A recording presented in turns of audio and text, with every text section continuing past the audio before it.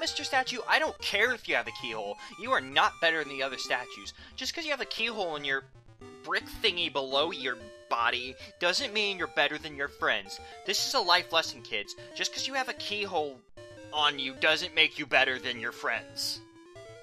Hello and welcome to Lonk's Awakening. In this episode, we're gonna take out level one, the Tail Cave. Yeah, yeah, yeah. Um, so you know, welcome to the first level of the game, Mondo Mondo Easy. Uh, we're gonna be like in and out of here. So, oh my God, that was a horrible, horrible noise. Thank you, thanks a lot, Game Boy sound effects. Um, this is a very, very easy dungeon because not only is it the first dungeon, um, this game just isn't as big content-wise. Now, I mentioned this complaint in the the first episode, I think. Um, but the the items kind of go on for a while when they're telling you what they are, especially the compass, because the you know the compass is like this will tell you if you're there's treasure, and then they're like it has a new feature because they added the feature where if you go into a room, uh, it kind of does like the bleep deep bleep if there's you know something going on that that sound like you know I refer to it as the puzzle noise lovingly. Um, but you know they, they have to tell you like every time it's like it's a new feature. It's like and it's like the eighth time you've gotten the damn thing. I know that there's a new feature in the thing. You don't have to tell me.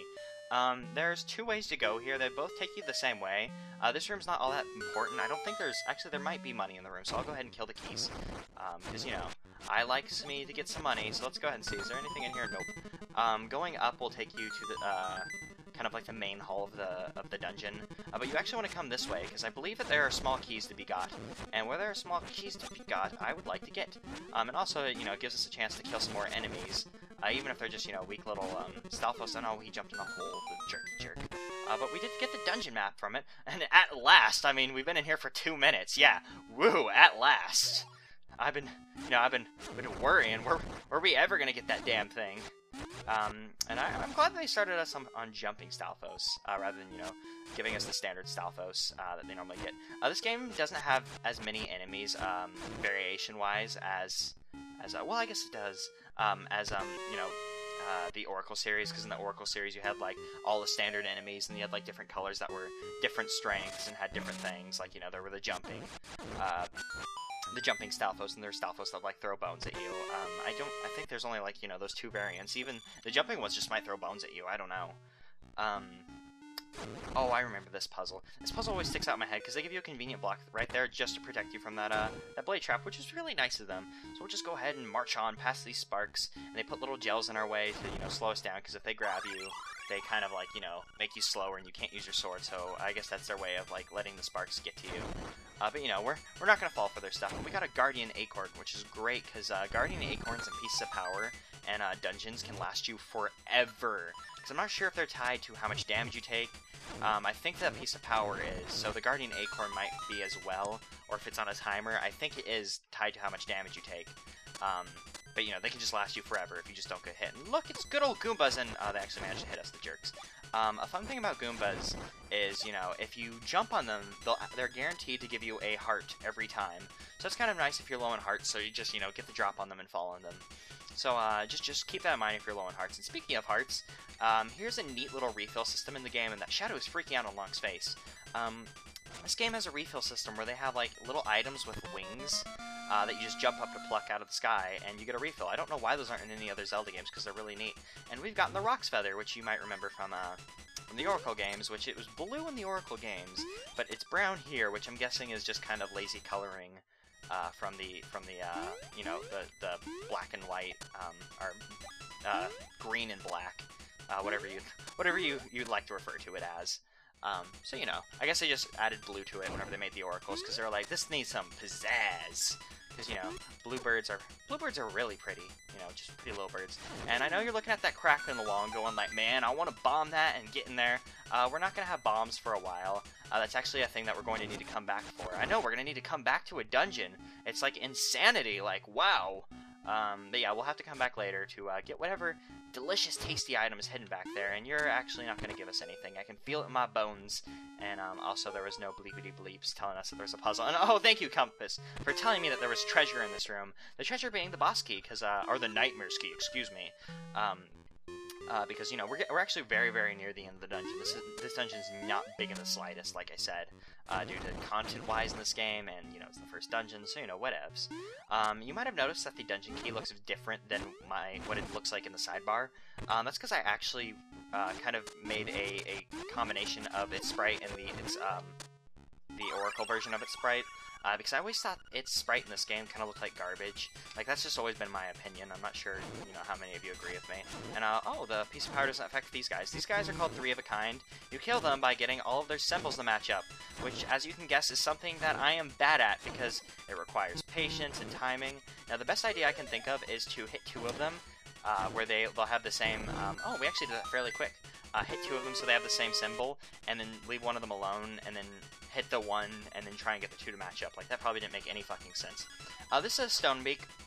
This item kind of replaces the, uh, the, uh, the owl statues that you would throw mystery seeds in on a, in uh, the Oracle games, in which you just find these owl statues, and once you have the beak, you can make them talk to you. Uh, so that's how you get hints in dungeons. Oh, darn. Oh, we actually managed to avoid getting hit. That was nice. Uh, so if you need any help, uh, that's how you get it. And uh, here's the mini-boss, Rolling Bones. Um, and oh man, he actually managed to hurt us. That's uh, actually good, because the mini-bosses in this game are a joke. The bosses in this game, actually, you know, normal bosses as well as mini-bosses are a joke. Um, but you know, they're, they're, that's, that's, that's how the cookie crumbles, I guess. Um, and I'm glad we're able to go into this boss with, um, full hearts, you stupid blade trap, because uh, we're not going to die. Buzz, buzz, outsider! So here we have a big Moldorm. Um, I didn't show you what that, uh, the staircase did, uh, but what he's going to try and do is he's going to try and knock you into this pit, and it's kind of just a useless area uh, to reset the fight, because he's not a hard boss at all, so they kind of pad up his difficulty just a tad uh, by making him, you know, knock you into the pit. Uh, you can either protect yourself with your shield uh, to stop him from hitting you, or you can use your, um, your feather if you like to do it uh, the way that I do, and oh, that was actually a good move on your part, because uh, he's going to kill us if he hits us, and I will refuse to die to you, sir. I will actually take the hit and fall into a pit before I, I get hit by you. Um, and I'm actually going to run and go grab some hearts, because he uh, he actually does one heart of damage, and like I said, we're not going to die at all in this uh, playthrough. So I'm going to go grab some hearts, and I'll meet back up with you here. So I was able to actually find a Guardian Acorn before I found two pieces of heart. Like, that's weird. Um, I, even though I had to run away to go grab heart pieces, I still stand by that this boss isn't hard at all. In fact, we can probably just stand here, and now I think about it, just whack like crazy, um, and he won't be able to push us back. And there, he's dead. He's that easy. Um, I actually don't know why I didn't think about that before, because that's, that's such a simple strategy. Because, um, you know, Moldorm bosses are always easy, just like the one in uh, Link to the Past. So here's our first instrument. Yay, we get a delicious item, which actually it's not delicious, because we're not going to put a, a, cello in our mouth, because it's the Full Moon Cello! Now it's going to play us a song. Um, the song being The Ballad of the Windfish. Uh, you're going to hear the song a lot in-game, because this is kind of like the theme for the game, because, you know, we're trying to wake the windfish, so we have The Ballad of the Windfish, is a lot of actually, um, it's a lot of fan favorite, uh, well, fans' favorite song. Um, you know, from this game because it's kind of like the big song. He, uh, the little text box there told us to go to the, the uh, swamp, so we're gonna go head that way. Oh, look, it's Mr. Owl. Hoot! That's an instrument of the sirens. I have to admit, at first I did not believe you were real. That instrument, along with the seven others in the set, has the power to wake the windfish. You must collect them all. I was instructed to give you the you directions. Your next goal is north, in Goponga Swamp. Hoot indeed! And now he's gonna fly off. Oh, you, you little Shakespearean owl, you. I love you, even though I, I dislike, I dislike the owl from, um, from, um, you know, uh, Ocarina of Time. Yeah, that game, you know, that forgettable game. Uh, oh, and look, these kids. What's what's up with you guys? Hey, buddy, it's serious. Yeah, really serious. Yeah, it is. The Moblins came to the village. Yeah, that's right. A whole gang of Moblins. Then it's far real. I far far real, for real. They all went to the house. Yeah, that house. And then they did something at Bow Wow's house. It was really bad scene with the Moblins. So I mean, ah. So you know, Link or, or, not Link, excuse me, I don't know who the fuck Link is. Link's gonna go ahead and just go figure out what's going on by himself, because those those kids are useless. Ah, Bow Wow's missing! Bow Wow the Chain Chomp! Oh, what's up, Miss, uh, are you Madam Meow Meow? I think you are. Um, but her, um, her Bow Wow was kidnapped by Moblin, or dognapped by Moblins, uh, excuse me, sorry. Uh, so we're gonna have to go, you know, save its life. So we're actually going to go make our way out to Goponga Swamp since, you know, we have a little bit of extra time from that dungeon since it only took, you know, uh, nine or so minutes. I don't know how long it took me to find uh, heart pieces, and, or even how long it took me to start the recording. because I kind of have to, you know, do a little bit of sync in action before we can, you know, start a start a recording to make sure you know everything's you know set up. But you know, technical technical stuff isn't fun. Uh, so we're gonna go find Goponga Swamp because we can actually get around a lot more easier now that we can jump. Uh, so you know, this forest is kind of our bitch. Well, it's not our bitch yet. It'll be our bitch once we have you know a power bracelet. We can pick up these stupid rocks that are in our way. So um, you know, at the very least, we have a, a um, you know a piece of power, so we can just knock these guys out of our way. And I love the way they fly back. I know it's a simple effect, but I just love the crap out of it. So give me a heart piece. Um, because, you know, that's right there for us. And uh, if you were to go up, you would actually get to uh, Goponga Swamp. So, But we're actually going to take a little detour. Uh, because if I'm correct, we can actually get a piece of heart that we're not supposed to get. Yeah, I know. Um, you know, sequence breaking, that's insanity. I believe one of these, um, these graves, uh, graves, I almost said grave tombs, uh, gravestones, uh, has a hidden, uh, um, staircase you can take. On the, uh, I believe the zombies are endless, because those are actually zombies. For the longest time, I thought they were moles. I mean, even though it's obvious that they're supposed to be zombies. Uh, and the, uh, the Ghinis will come endlessly until you kill the original one. I'm so sure it's on the screen. I just have to remember which one. There we go. Because if you come down there, there's a piece of heart. Now, I don't think you're supposed to get it until you get bombs in another item. But I know it's possible to make the jump if you push this, I believe. Yeah, there we go. Because you're supposed to be push that the other way to be able to get out. But you can kind of just trick it out to grab that. I'm not sure if that's how you're supposed to do it. Um, but, you know, an earlier, uh, you know, heart container that we can complete, the better. Because now we have five hearts, so we can, we can just kind of, you know, rock, rattle, and roll our way out of here. And uh, I'm pretty sure that's a Pokemon anime pun, even though I, I haven't seen much of the Pokemon anime. You know, I've only seen what you know a little kid would have seen, uh, since you know I the the show didn't hold my attention past Johto. Um, but I'm so sure rock, but rock rattle and roll is a, a, a, thing that people say. It's more than than just that that that game's pun. Um, this is actually the Moblin's base, but before we walk in here, we're gonna just travel a little bit more to the right because if we come over here, we can find the camera shop. Uh, this was added in Link's Awakening DX to kind of um, add in the feature of uh, the Game Boy camera. Uh, so there's a few uh, photos we can actually collect in the game if we talk to this photographer guy. I just love to take pictures. Will you let me take your picture? No, I'm I'm okay. Let's take a picture. No, that's that's fine. I don't I don't want to take a picture. No, I will not let you take my picture, Mr. Pink Mouse. No pictures today. You no, you are not getting my picture. Yes, I'm pulling your leg. No, wait, wait, no, pulling your leg means I'm playing with you. No, I'm not gonna. Oh, he's gonna gonna take our picture anyways. And it's called Game Over, although it doesn't really end your game. Uh, there are two choices of pictures you can get. Um, there are 12 pictures you can get throughout the game, um, but the first one you get is uh, you have a choice. If you just say yes at any time, you'll kind of take a picture where Link's like, you know, given like the peace thing. Uh, but if you uh, if you continue to say no, you'll get that game over one. it doesn't really end your game. Uh, you can come here and check out your photos at any time, so it's just like a little, you know, like achievement thing. And oh, Lonk. Oh, Lonk. So we'll come back here uh, once we've collected all of them so I can show you all the delicious, delicious... And why are things delicious? I'm not going to eat any of this, jeez. Um, I, I promise I'm not going to eat any of the things in this game, I promise.